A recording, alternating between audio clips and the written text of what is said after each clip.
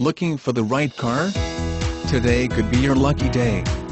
With 175,413 miles, this black, 2002 Pontiac Grand Am equipped with transmission could be yours. Request more information and set up a test drive right away.